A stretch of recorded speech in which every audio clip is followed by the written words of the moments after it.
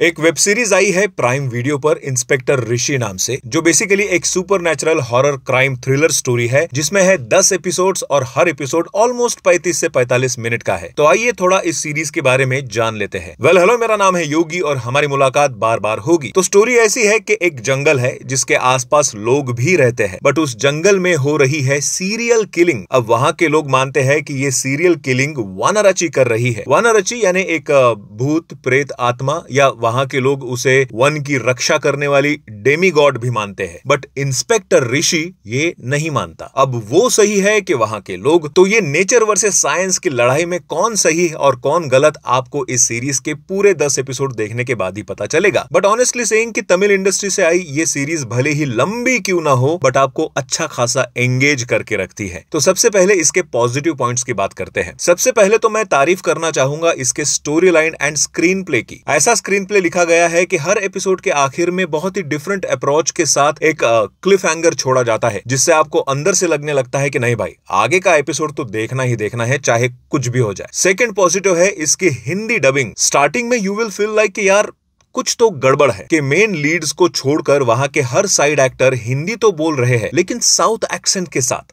For example पहले तुमको समझना पड़ेगा कि कानागर कबीले के लोग कैसे थे। बाद में मैंने इनके डबिंग क्रेडिट्स देखे तो पता चला कि मायरा मल्टीमीडिया वालों ने डब किया है एंड डबिंग आर्टिस्ट का नाम जानने के बाद ये तो पता चल गया कि इन्होंने बहुत ही डिफरेंट अप्रोच के साथ डबिंग करवाई है। तमिल डबिंग आर्टिस्ट को लेकर हिंदी डबिंग करवाई गई है ताकि इस शो का मेन इसेंस बरकरार रहे। आई I मीन mean, आपको ऐसा लगेगा की जो भी साउथ कैरेक्टर्स है वो खुद ही हिंदी में बात कर रहे हैं। इवन एक और बात पता चली की इसके एक ट्रांसजेंडर ऑफिसर को भी एक ट्रांसजेंडर ने ही डब किया है, जिनको डबिंग का हल्का पुल्का नॉलेज था, जिसकी वजह से कैरेक्टर की ऑथेंटिसिटी बरकरार रही है। तो hats off to this minor but impactful decision of dubbing next positive है इसके विजुअल्स जितने भी बैकग्राउंड्स जंगल के सीन्स एक पेड़ दिखाया है बड़ा सा, वो विजुअल केव्स के अंदर के सीन एंड कुछ एक हॉरर विजुअल्स काफ़ी अच्छे थे, जैसे वो एक मुर्दे के मुँह से कीड़े निकलना, अंधेरे में वही कीड़े चमकने वाला विजुअल इवन इंस्पेक्टर ऋषि एक सीन में वानाराची के सामने आते हैं, वो वाला सीन ट्रेलर में भी आपने वो सीन देखा है। तो वो भी बहुत बढ़िया था। अब नेगेटिव्स में भी कुछ एक बातें है। जैसे पता नहीं क्यों गवर्नमेंट वालों ने शायद हर सीरीज़ बनाने वाले को अपने सीरीज़ में कंपलसरी करने को बोला होगा कि आपको अपने सीरीज़ में सेम जेंडर अट्रैक्शन को दिखाना ही दिखाना है। चाहे वो स्टोरी के साथ जुड़ता हो या ना हो। एंड लिटरली उसका इस स्टोरी से कुछ लेना देना ना होने के बाद भी ज़बरदस्ती गे लेस्बियन वाला टॉपिक डाल दिया गया है, जिससे इस सीरीज़ के मेन टॉपिक से इंटरेस्ट हटने लगता है। आई मीन क्यों?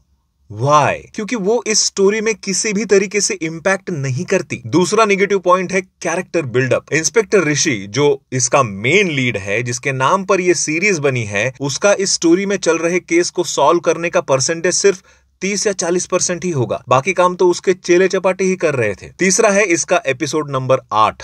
भाई सीधा स्किप कर दो। या बस आठवें एपिसोड का लास्ट दस मिनट देख लो। टाइम बच जाएगा तुम्हारा। एकदम हालात, जज्बात सब बदल दिए जाते हैं इस आठवें एपिसोड की स्टोरी लाइन में। आपकी एकदम से लिंक टूट सकती है, इसलिए चाहो तो टाइम बचा सकते हो। बाकी ओवरऑल बोलू तो कोई वलगैरिटी नहीं है, गालियाँ वगैरह नहीं है। बस सिक्स एंड नाइन्थ एपिसोड में lip to lip kissing scene है। बाकी ब्रुटैलिटी एंड हॉरर भी उतना इंटेंस नहीं है कि आपके बच्चे डर जाए। तो हाँ फैमिली के साथ भी ये सीरीज़ देख सकते हो। मेरी तरफ़ से इस सीरीज़ को three out of five stars it's a good series आपने देखी है तो मुझे कमेंट में ज़रूर बताना। मिलते हैं अगले वीडियो में।